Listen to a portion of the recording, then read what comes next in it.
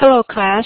I thought I would take an opportunity to record the record keeping lecture because a number of students missed it as well as it wasn't one of my best works of presentation. So our outline, we're going to cover the background again, why record keeping is so important, the benefits of good record keeping, as well as describe to you how you use the OSHA 300 log, 300A log, and 301 log, and then we will um, do an exercise together where hopefully I'll make this very clear for you.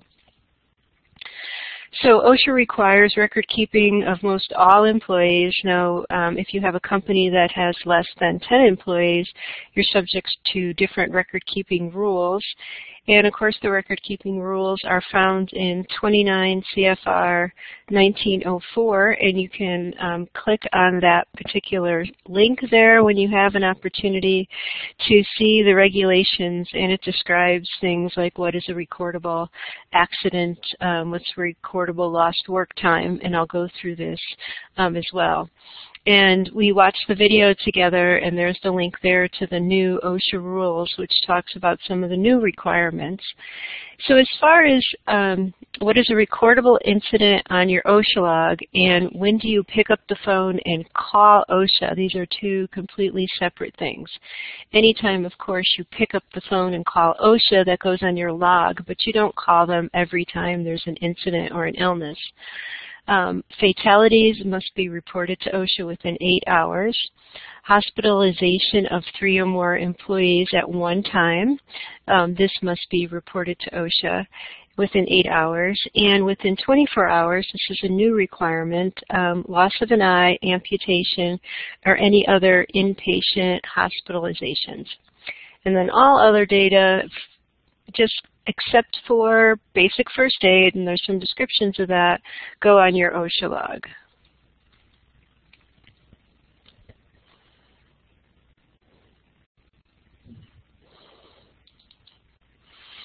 Okay, so we're going to start to talk about record keeping and incident rates and what these incident rates look like. Well, our good rec record keeping gives us non-biased, non-influential data in which um, regulatory agencies such as OSHA or state agencies, public health departments, as well as your company that your, itself can make decisions on how they want to focus their efforts or spend their money. And as you can see here, this is an example from the Bureau of Labor and Statistics.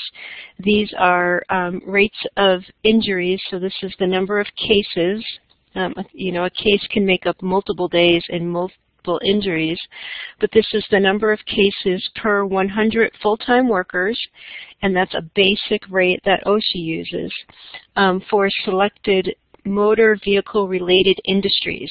So this is industries in which um, motor vehicles are either made or parts are manufactured, automotive dealers, um, or services are provided. And as you can see, this data is broken down into a specific industry.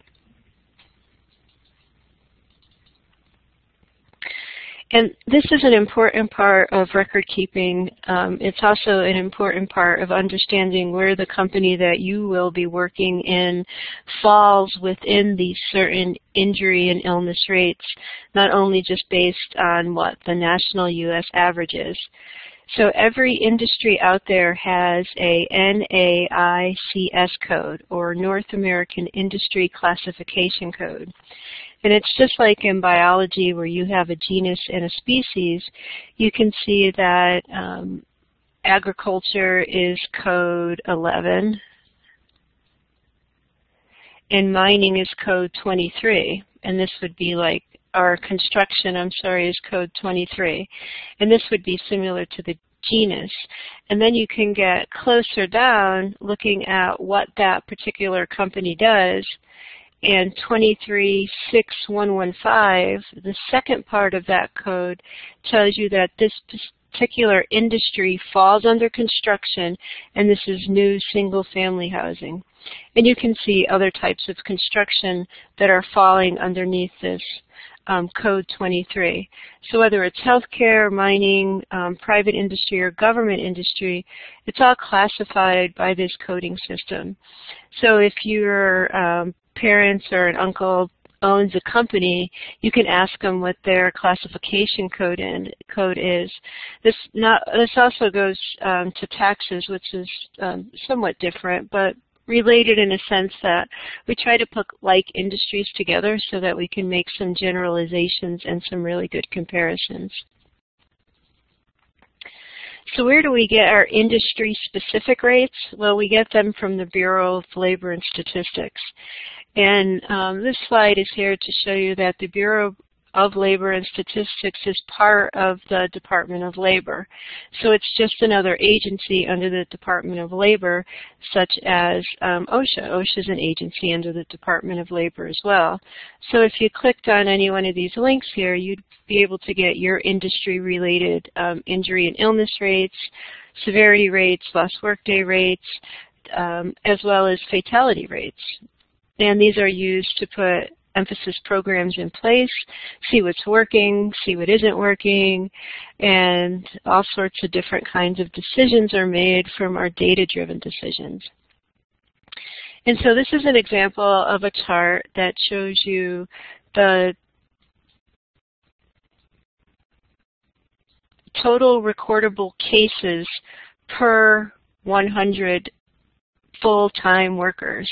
And so the reason why OSHA chooses to use per 100 full-time workers is then we can compare an industry with 10,000 workers and we can compare an industry with 100 workers. And so we normalize all of our company-specific data to um, 100 full-time workers. And I'll show you how to do that again, and hopefully it'll be a little bit more clear.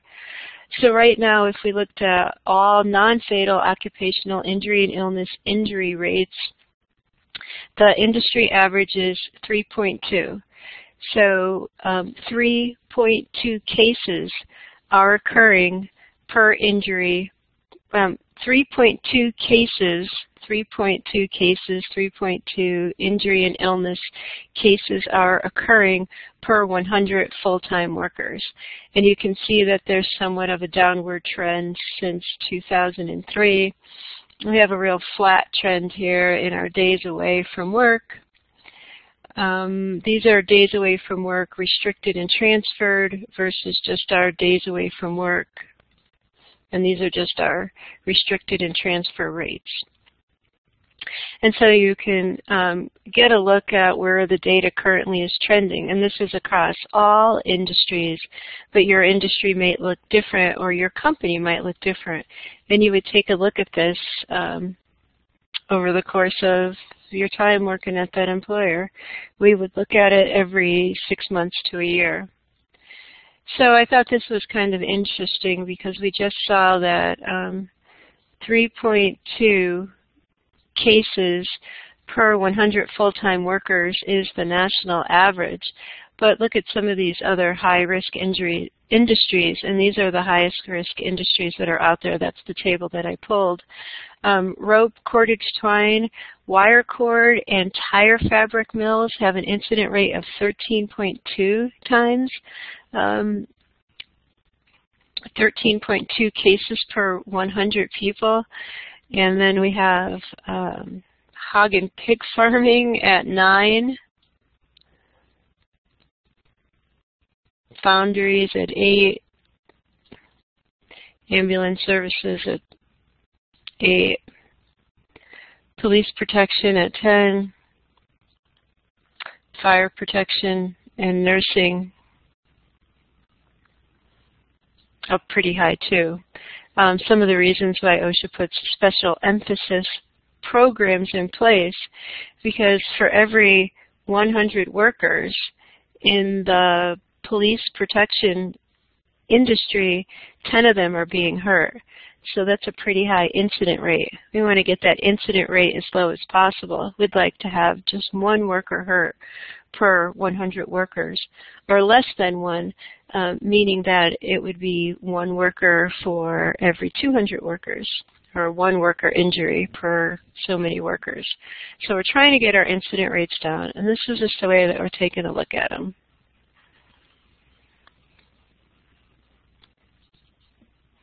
Okay, so what is an incident rate? An incident rate has some unit of measure associated with it, and OSHA uses 100 full-time employers or 100 full-time workers.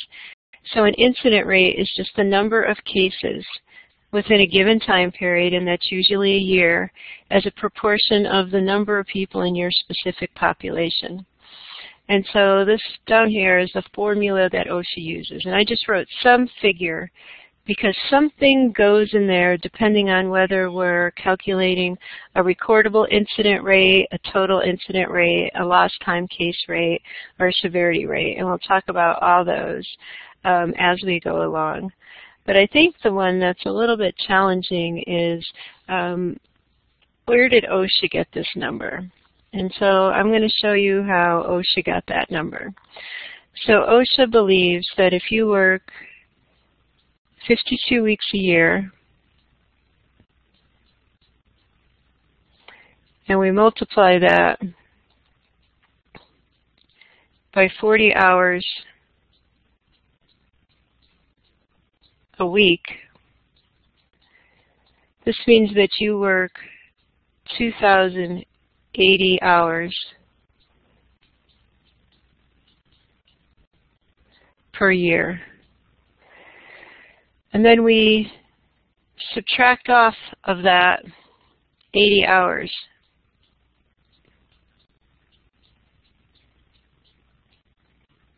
Which leaves us with 2,000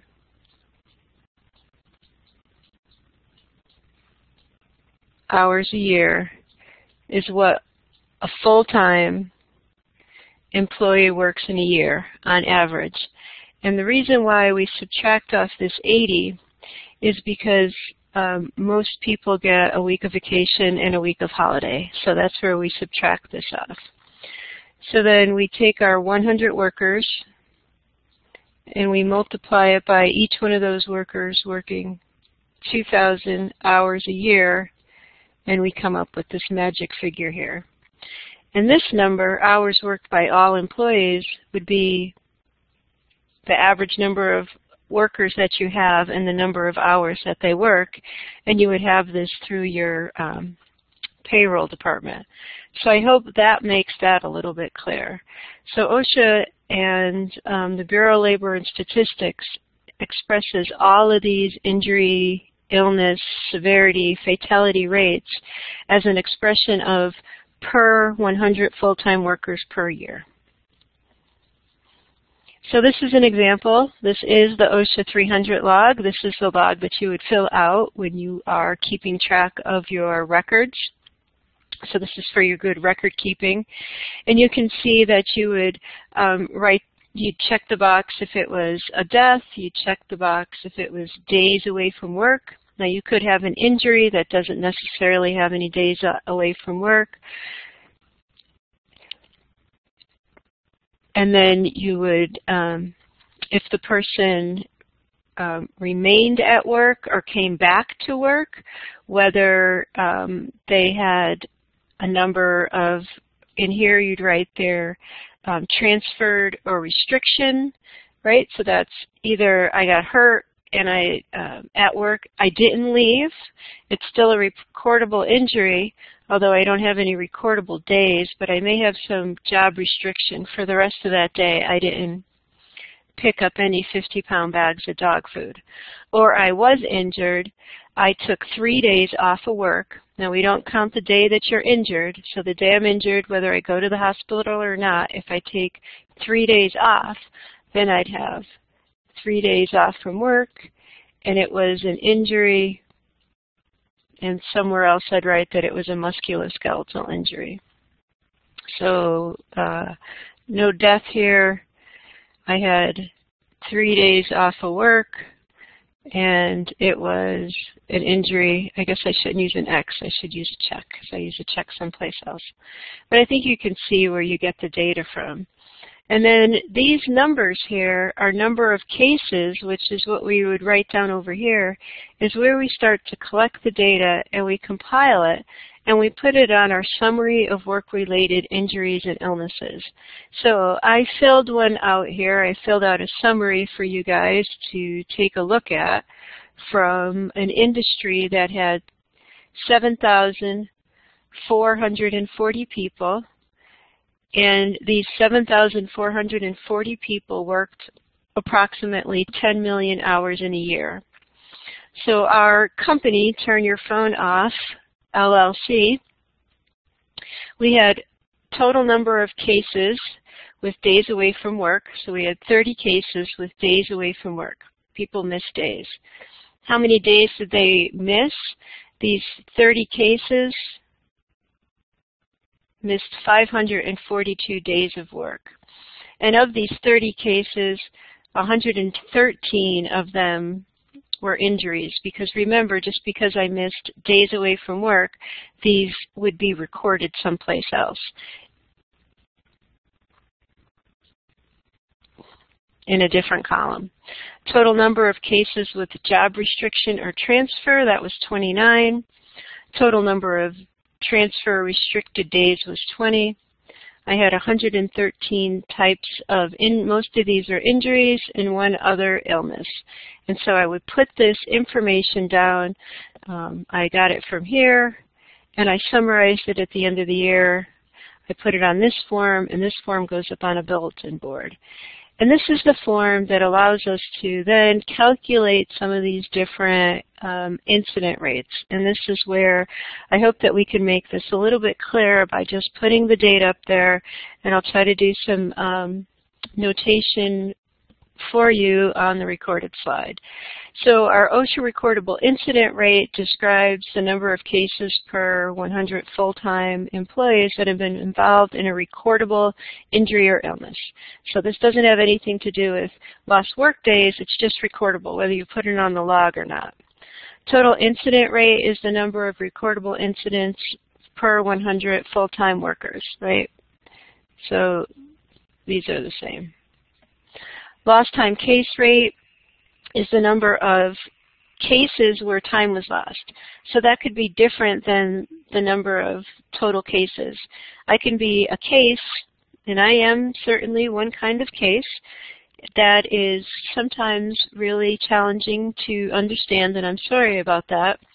But if I slipped going down the stairs and I went home, it would be counted as um, a work-related injury.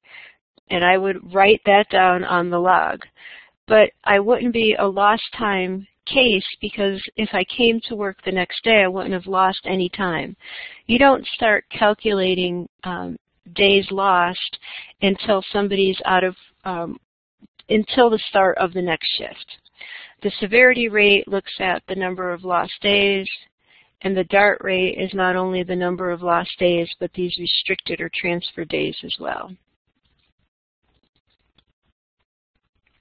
Okay, so I have our formula. I have our summary of our OSHA log and the four different types of calculations that we're looking for. And so right here where I wrote some figure that's related to the variable here that you'll fill in the space. So this is our data. So we're going to we're going to calculate our incident rate. And our incident rate is the number of OSHA recordable cases and our number of OSHA recordable cases would be 30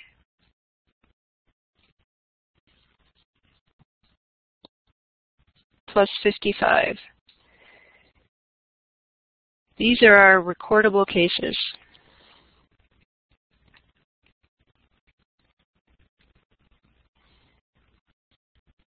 So that's 85 times 200,000 divided by our roughly 10 million hours worked. All right, so if we do the math,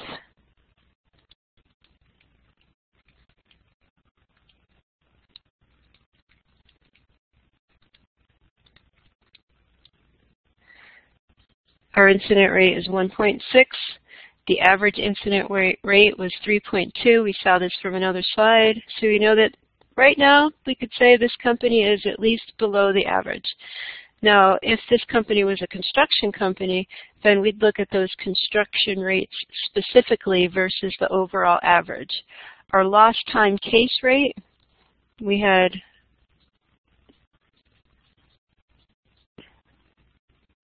Well, we usually call it lost work time. Here we would only use the 30. So this is 30 times 200,000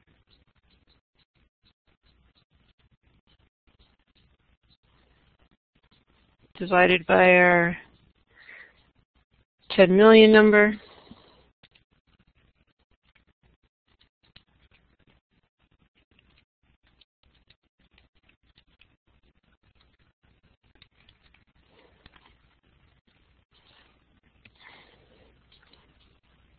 Our lost workday case rate is 0.59, pretty low.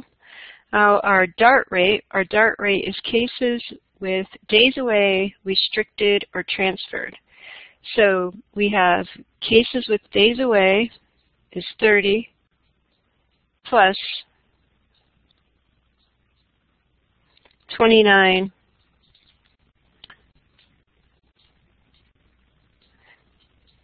for our restricted or transferred.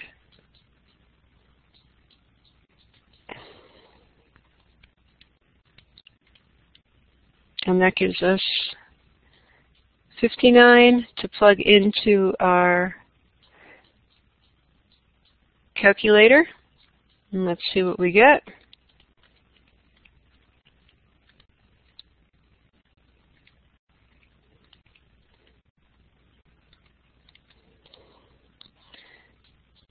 Brings it up a little bit higher, huh? 1.6. And finally, our severity rate. And our severity rate looks at our number of lost work days. All these other rates are looking at cases. This is the only time we take a look at our days.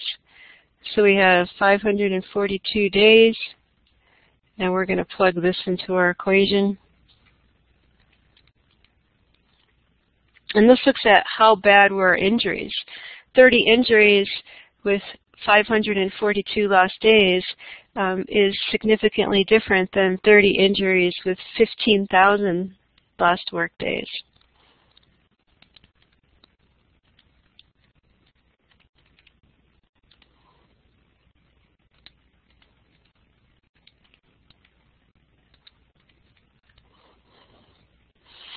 And our severity rate was 10. So every, another way to think of this is for every 100 workers,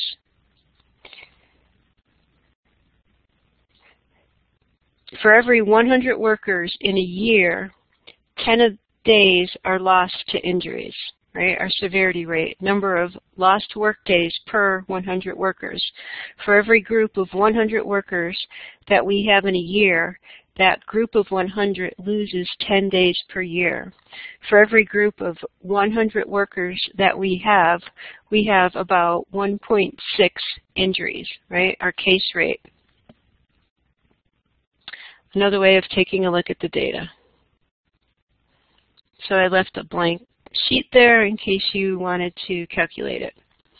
Benefits of good record keeping provides uh, fast facts about safety, although remember this is a lagging indicator, this is what happened last year, as well as it's uh, more reliable for larger companies because they contribute more to the denominator, to the total number of hours worked than um, a smaller company.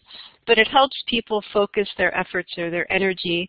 It gives us a metric to measure and to track over time to take a look at trends, and it can be used um, to hold people accountable to what different injury and incident rates are.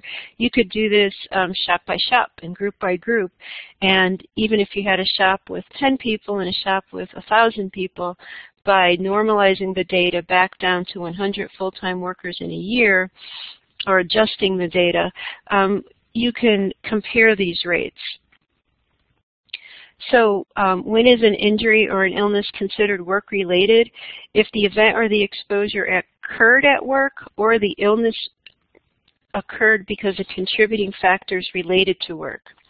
What is reported on your sheet always, um, death, loss of consciousness, any injury with days away from work, any injury where there's um, restricted work activity or the job has to be modified. Um, anytime there's medical treatment beyond basic first aid and there's a document which describes basic first aid, um, we always um, Document needle sticks or cuts from objects that is contaminated with bodily fluids, and this is a violation of our Bloodborne Pathogen Act. We also document certain types of illnesses that are work-related, such as tuberculosis or a standard threshold shift in hearing, which would be a hearing-related um, you, if you have people in hearing protection, you have a hearing protection program in place. And during the audiometric testing, if somebody lost a certain number of decibels in their ability to hear, we would mark that as a case um, on our records, even if the worker did not seek medical attention for it. Um, and then any case which removes workers from a monitoring program. So let's say I don't pass my um, spirometry test the next year and I can't wear a respirator, we would put that down as part of your injury logs. Um, so death within eight hours, all other uh, categories where you have a, um, and what this is is deaths are reported in eight hours for OSHA. All other categories, you should be filling out the OSHA 301 log, which is the incident and illness log, within seven days. Everything isn't reported to OSHA, as we know. We have that other items within 24 hours, um, three people hospitalized, amputation, loss of an eye, or um, and I can't remember the last one, but it's on one of the other slides. It shows you that I'm not reading as I'm going along here, huh? Um, lost work days are counted after the injury, so not on the day that it happened, only if I didn't return to work. Um, certain employee information is withheld for um, for certain conditions such as HIV, hepatitis, and sexually related um, diseases because of an assault that occurred either at work or not at work. So some examples of what is reportable. A cut, a puncture, a bruise, a sprain, an insect bite, dermatitis, blisters, inflammation, silicosis, pneumoconiosis, um, tuberculosis, COPD, metal fume fever, poisoning, hearing loss, heat stroke, frostbite, anthrax exposure, exposure to bloodborne pathogens, and tumors. So this is an example of the another OSHA log, just like I um, gave you, except this one was digitized. The OSHA 301 log is just like the incident and illness report or the accident report which you had filled out. It's supposed to be completed within seven days. It usually is linked to some kind of job safety analysis and it's just a problem solving tool. Remember, we never want to um, hindsight is always 2020, so we never want to put blame on somebody. And this is an example of what that OSHA 301 log looks like. And you have, um, gave you an example that you have. So in summary, our OSHA incident rate is the total number of cases. Our DART rate is days away and restricted, and our severity rate is the only one when we actually use a count of the number of lost work days. And I certainly hope that that cleared up the information for you, and um, I'm sorry if the lecture was confusing. I certainly get tired of PowerPoint after PowerPoint and thought it would be much easier to just write it out on the board. Um, but but apparently it wasn't. So have a great day.